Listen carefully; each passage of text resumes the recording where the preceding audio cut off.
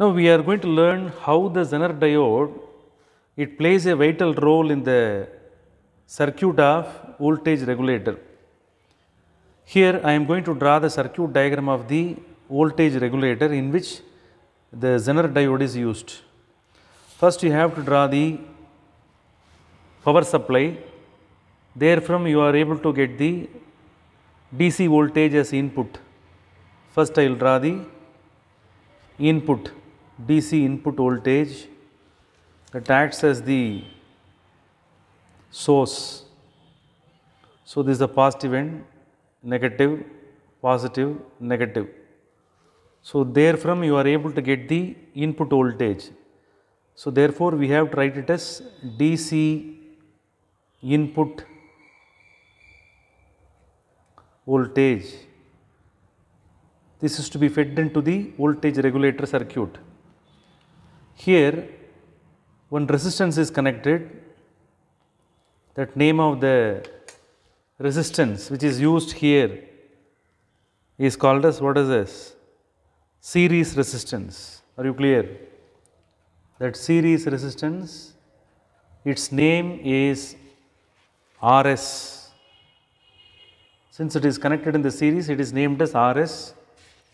Here this series resistance it plays a vital role it is used to limit the Zener current. With the help of this, the current which is passing through the Zener diode can be limited.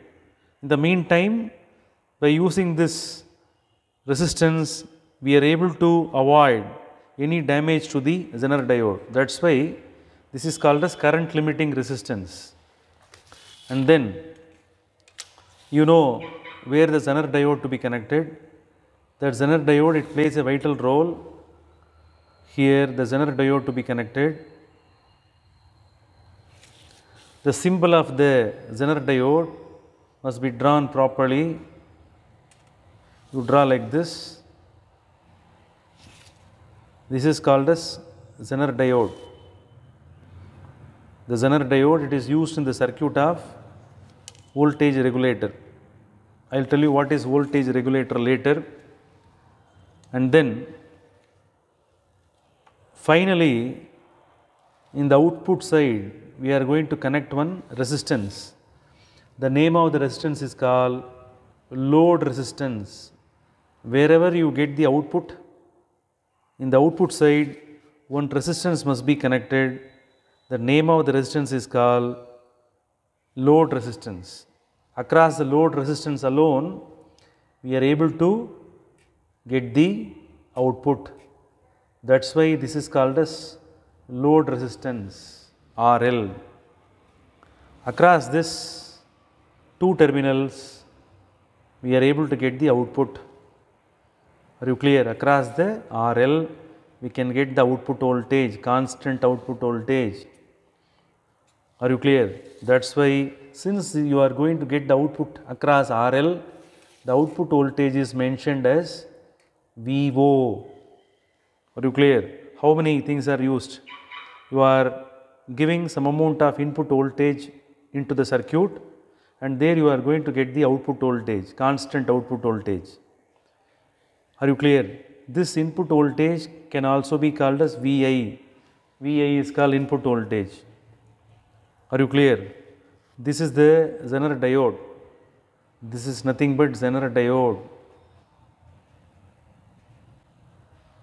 Okay. Here this is the P end of the diode, this is N end of the diode. The P end is connected with negative and N end is connected with positive. The Zener diode is connected in the reverse bias connection. You should know that. Are you clear?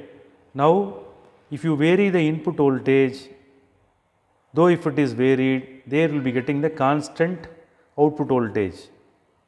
Here, the Zener diode it will have its own breakdown voltage. The breakdown voltage of the Zener diode is called as VZ. While buying the Zener diode from the market, you have to specify the breakdown voltage of the Zener diode. It may be of any value. Are you clear? So, the for example, if the Zener breakdown voltage is 6 volt means the output voltage also will be equal to 6 If the Zener breakdown voltage is 9 volt means the output will be 9 volt. The Zener breakdown voltage and output voltage both of them will be same. Are you clear? Though if you vary the input voltage, the output voltage is constant. That depends on the breakdown voltage of the Zener diode. That you have to understand. Now let's see the current flow. Here from the power supply, some amount of current flows through the current limiting resistance. That name of the resistance is called I and it can be called as total current. We know Kirchhoff's law. Here this is the junction point. Are you clear? So when it meets the junction, the total current is split into two currents. The current, one current is passing through the Zener diode. The name of the current can be called as IZ, otherwise it is called as Zener current. The remaining current is flowing through the load resistance. The remaining current is flowing through the load resistance. Are you clear? So, the current which is flowing through the load resistance is called as IL. Are you clear? IL. Don't forget. So, we can write the fundamental equation as total current that is current passing through RS is a sum of which two? The current passing through the Zener diode plus the current passing through the load resistance that you have to understand. So, these are all the important points. This is mentioned, this one is written with the help of Kirchhoff's first law. Are you clear? You have to understand one more thing that the Zener breakdown voltage will be equal to the output voltage. That also must be understood. VZ is called Zener breakdown voltage. For example, if the Zener breakdown voltage is 6 volt means the output which is obtained across RL will also be how much? 6 volt.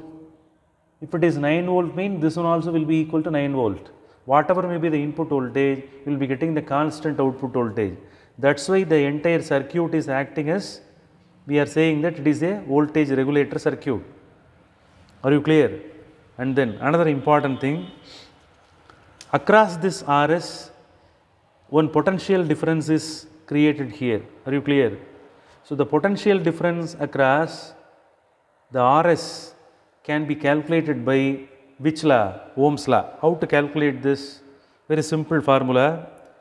The voltage across RS, the voltage drop across RS can be calculated by I into RS. That is one of the method. Another method is very simple one. Here you are giving some input voltage no this one minus this one. Are you clear? The input voltage what you are giving minus VZ that one gives you the voltage drop across RS. Are you clear? So, I, I will write the formula here VRS voltage drop across RS is equal to the input voltage that is the input what you are giving minus VZ. I will write some typical value here. For example, if you are giving 15 volt as input means if the Zener diode breakdown voltage is 6 volt means what would be the potential difference? The potential difference across RS will be 15 minus 6 is equal to how much? 9 volt. Are you clear? So, like that we can calculate the potential difference across this one. If it is 15 volt means 15 minus 6 volt Zener diode. 15 volt is given as input. 15 minus 6 is equal to how much? 9 volt will be the VRS value. So, like that we can calculate. Are you clear? To calculate the VO, to calculate the VO, we can write another formula. I will write the same formula here. To calculate VRS, VRS means potential difference across RS can be calculated by a simple expression called input voltage minus VZ. These are all the formulas must be known. How to calculate VO? How to calculate VO? VO will be equal to which two factor must be multiplied as per Ohm's law? IL into RL. IL, current passing through IL, current passing through RL and RL value. IL into RL, Ohm's law, current passing through load resistance into load resistance value. If both are multiplied, you will get VO. So, these are all the very fundamental formula must be learnt. Okay. If you want to calculate Zener current, we can use this formula. IZ, Zener current will be equal to I minus which one? IL. Are you clear? I minus IL. Total current minus the current passing through the load that gives you Zener current. Know this fundamental formula, fundamental idea is about voltage regulator. Then only is clear you can understand the uh, working of which one? The voltage regulator. So, just I have explained the circuit and I have written all basic formula related to that. Are you clear? So, here the current is passing always from this end to this end. Therefore, this end will be positive, this end will be negative and here you are getting the DC output voltage, direct current.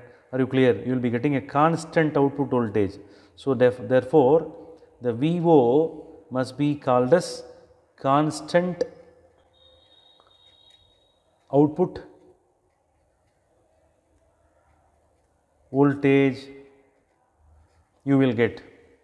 The output across this RL will be always constant. But which one is variable, which one can be varied?